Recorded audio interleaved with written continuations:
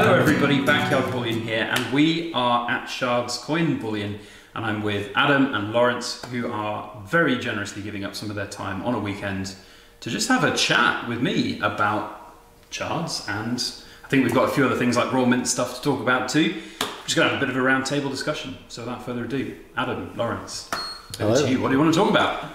Well, I think, I mean, the, the biggest topic for me um, that you and I always talk about is the colour of sovereigns. And I think it's something you're, let's say, rather passionate about.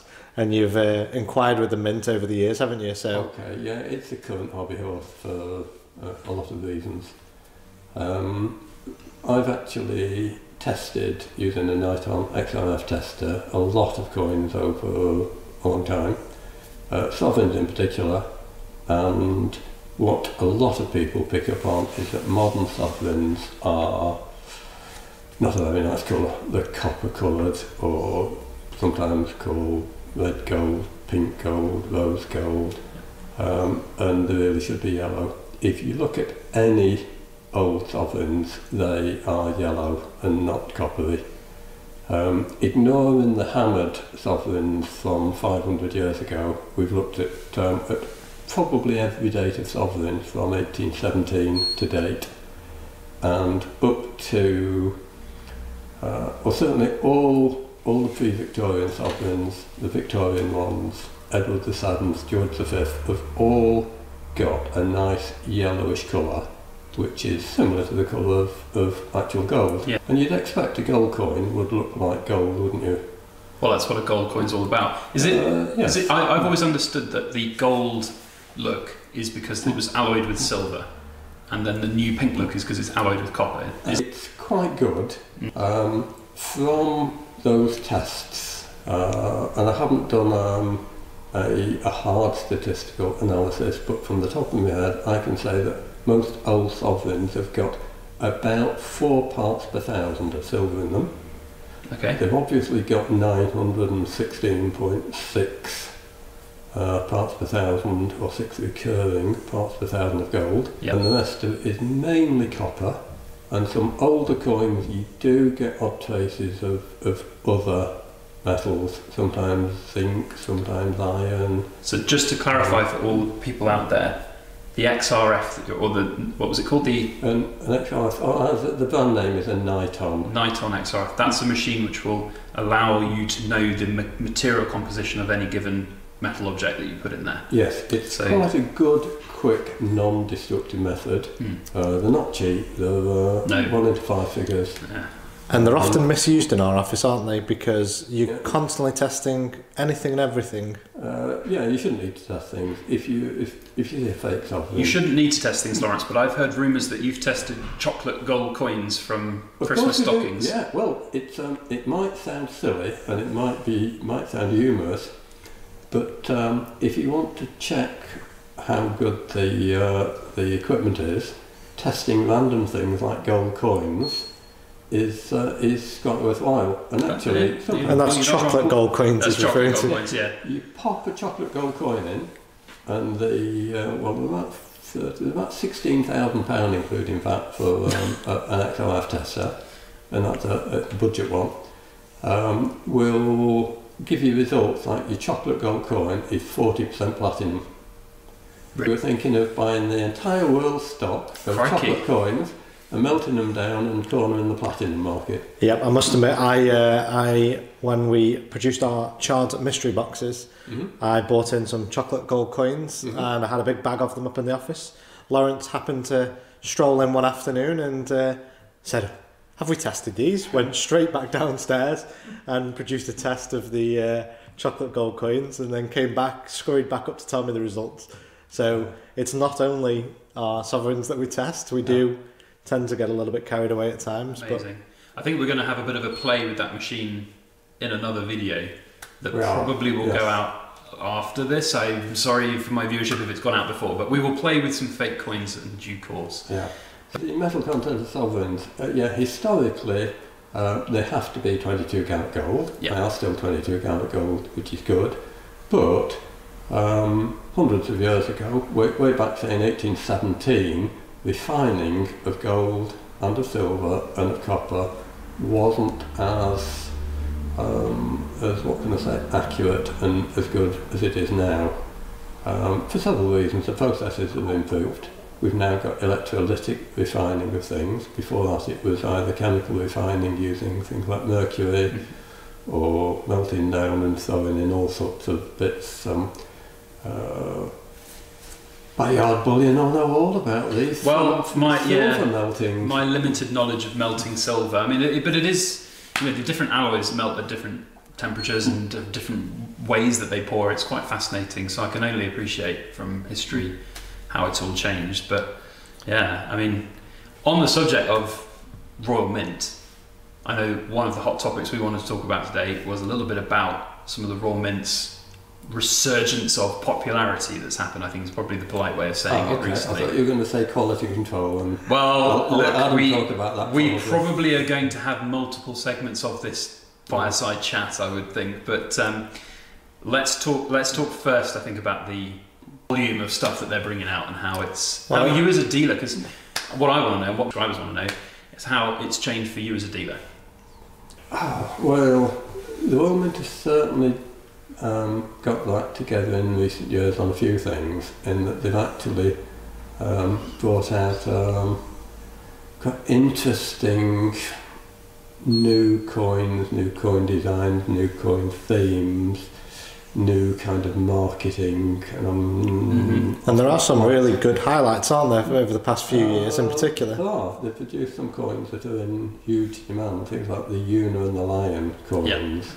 Um, uh, and we completely missed out on that because. A Uh, lot of people did, Lawrence. To be honest, myself included. I, I thought it was a no-winner, and I was wrong. yeah. And as we know, they're issued at, um, at well, prices that are moderate compared with the aftermarket price. But what's happened is uh, most of the the and new issue coins have come up and they're now a huge factor of the original issue price. Uh, but that has been quite good for the Royal Mint really in that everybody wanted the next coin in the series and it's keeping interest in those. It's good and bad because there's um, quite an active flipping market, rather like Yeah. sliding shares. Yeah. And it's something we've had a big chat about, isn't it? The, the Yeah. flipping industry and Is that good or is it bad? It really would be better if coins were going to people who want them for the aesthetics or because they collect, um, and not really because they perceive they're going to um, multiply in value by 10 or 100 times or whatever it is. I think most people collecting anything like that or buying anything don't want to buy something that's going to be worthless in a few years' time. Mhm. Um, but um, you don't necessarily have to expect it to double or quadruple in value the day after you bought it. Yeah. Um, so combining good design with good quality, and there's the odd question mark about that. we'll, um, we'll touch with- on quality in a moment. Let's do it. fairly low mintages um, has got to have been a good move. And of course, they've introduced some premium ranges now. So where you could buy a, say, gold proof crown, you can now buy a two ounce gold coin. It's more exclusive, it's more expensive, it's bigger, so you can see the design and appreciate it a little bit more. Um, there is a point about quality control, but then Yeah. if, if you if you're going to have a business that's going to increase its sales hugely, then it's obviously going to stretch your production and your quality Yeah. control. I think So you made it. it's understandable, Yeah. I think everybody wishes and hopes the woman will try harder on quality. Yeah. Well, before we move on to quality, I think your, your point there that I really want to emphasise is that I think if the Royal Mint continue to make great designs Mm-hmm. with low mintages, that's exciting for collectors and stackers out there, that's such a great start. And hopefully they'll just continue with some of the great designs that have come out. But you're right though, quality. Let's open that can of worms because I'm, I'm a big fan of moaning about Royal Mint quality. And I would say before we move on, the, the question is what it means for, for us as a dealer is actually quite interesting because we do try and get these coins for our customers. Mhm. We try to offer them at fair prices for people that have missed out. And we do like to see them ourselves. Mhm. Um, but we don't necessarily, like we say, we missed out on the Una. But we've done pretty well so far, haven't we? We've managed to get the recent releases in Yes, most of them. Yeah. Uh, and we actually, well, I get quite excited when, when I see either a new coin or a new to me coin, a coin I haven't seen before. And it can happen anytime. Something come coming in a, box of junk. It might be an aluminium coin from 1920. Mhm. Well, aluminium coins were quite new then, and if it's minty, I'll jump on it. Oh, let's have a photo of this and let's talk about it. It's probably worth a dollar Mhm. catalogue price. Yep. But it doesn't matter.